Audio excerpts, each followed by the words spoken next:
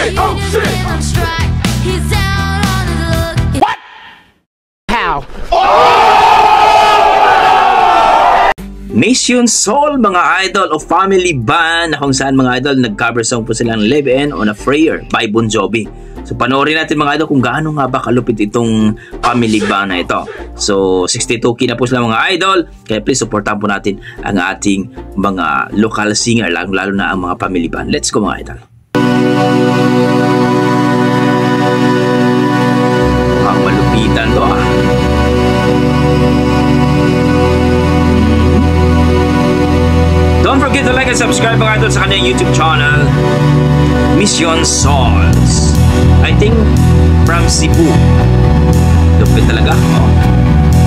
Isang bata lang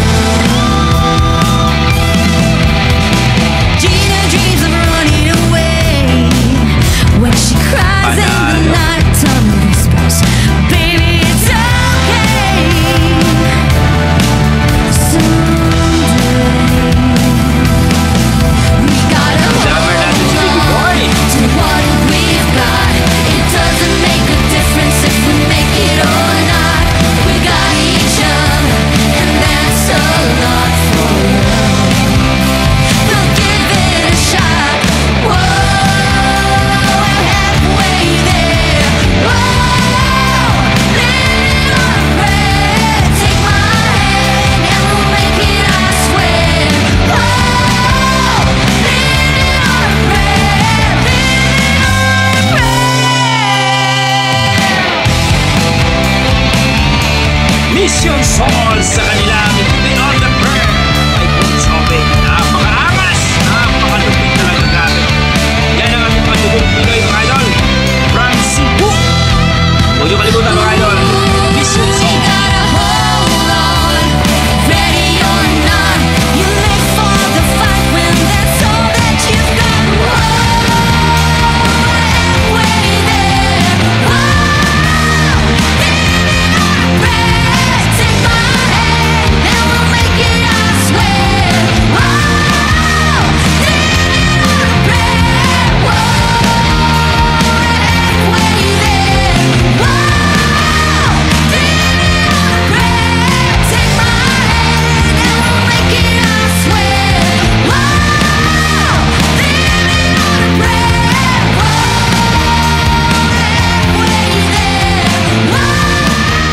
Grabe, lupet! Panalo talaga. Mission Souls mga idol sa kanilang Live of Prayer by Bunjubi mga idol. Grabe ang kanilang uh, performance dito. Talagang buhay na buhay. Grabe, napaka-energetic itong uh, family band na to mga idol. So don't forget to like and subscribe sa kanilang uh, YouTube channel, Mission Souls na from Cebu. Talagang uh, napakalupit.